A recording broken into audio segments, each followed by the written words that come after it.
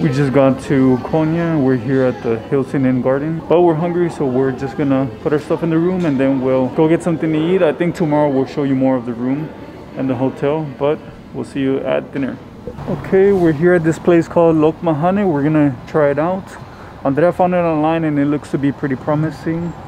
Let's take a look. Okay, so we're here at this restaurant and it looks really nice. It seems like they're going for a rustic vibe or something. And we just ordered food. We'll see who it is. They started off with some soup that has some fruit. I've never tried any soups with fruit before, so it looks interesting, kind of like a cider juice. And then we have some grape leaves stuffed with meat with some yogurt for dipping. And then other dipping sauces for bread. I tried this one out with tomato and it has some different vegetables. It's good, kind of like a like a pasta sauce. And this one has vinegar and like a balsamic type of flavor to it. Um, it's a little bit sour, but it tastes good when you dip the bread in it.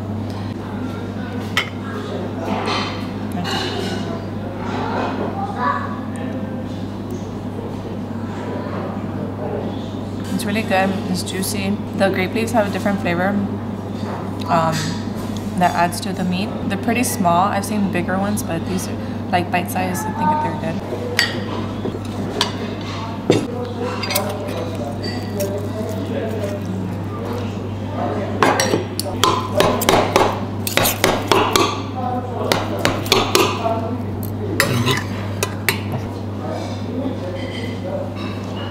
I'm to try the soup. Looks more like a juice or with cider or something. Yeah, it tastes like a fruit juice with some fruit that's been sitting in there. It's very sweet. Um, I like it. And then this one is lamb with rice. And you saw that the way that they were cutting it, but actually it's really tender. You don't really need a knife. It was good. I'm not a fan of lamb meat if it's too greasy, but this one it's not that greasy, and the rice has all the flavor and juices from the lamb. Okay, and because we're hungry now, we're gonna eat already. I'm really looking forward to this lamb meat with rice because it's really good. We've had it before, uh, but here it's supposed to be a little different. And there's a lot of stuff that we have here, so now we're going to enjoy it. Just wanted to point out that they have a ton of these fermenting bottles, um, and I think that's how we got some of the soup. Really nice. They have their decor with uh, fermented vegetables bottled up. Adds to the rustic vibe that they have here. Okay, we just finished our meal. I think the food was pretty good. Um, it's not cheap, it's not pricey, but I mean, you understand that here in this street where it looks like it's a little more for tourists, that the prices will be a little higher.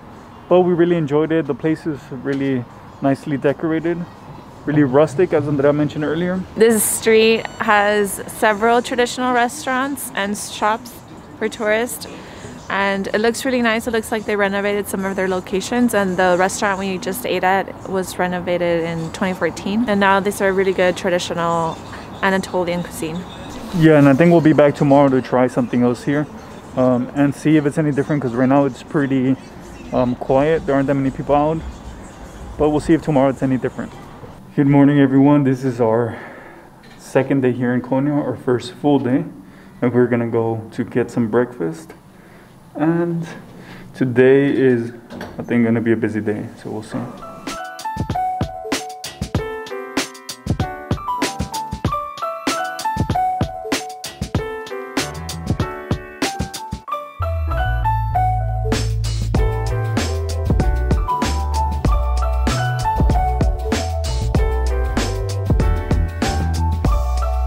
We just got our breakfast. It's from 6 to 11 in the morning.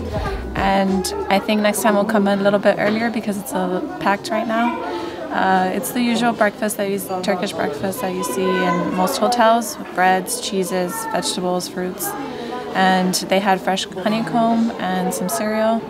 Yeah, so we're gonna eat this pretty quick so that we can head out already. Because if the crowds here are any indication of how it'll be out there, it's gonna be a busy day. So we're gonna get started. So another thing I wanted to share about the hotel is that it's really conveniently located. Today we're just gonna walk around to all the sites that we want to see. And if you see right here, that's the hotel and that's the Panorama Museum. So that's where we're going next. We'll show you once we're there. It's about a two minute walk, three minute walk, something like that. So we'll see you there.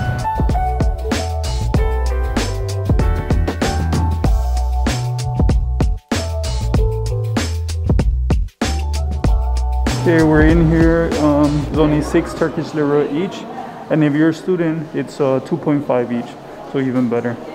Now we're just gonna walk around, take a look, and see what we can learn here in this museum.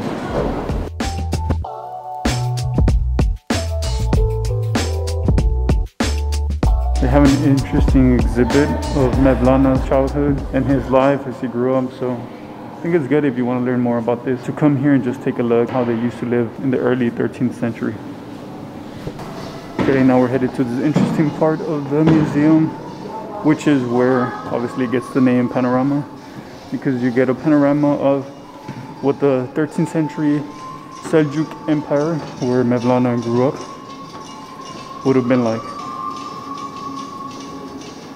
The museum is pretty small. We saw the two exhibits that they have. They have another one outside with small scale structures of different buildings and unfortunately it's under construction so we can't walk around but we can show you a bit.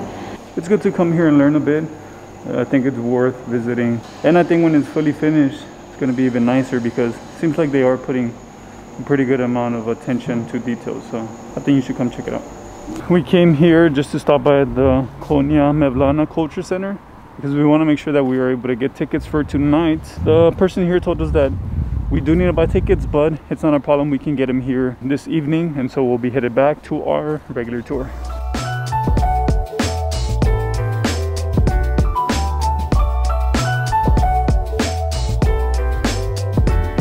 We're here at the Independence War Martyrs Monument, and there's a museum in, in the back, so we're gonna go see it.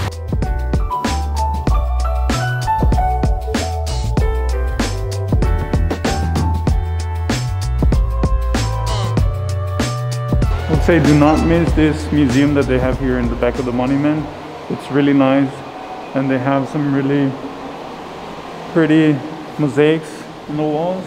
Of course of some of the more prominent figures in Turkish history and it's free so that's great especially for the quality of museum that they have here. It's also a very relaxing place. Come check it out.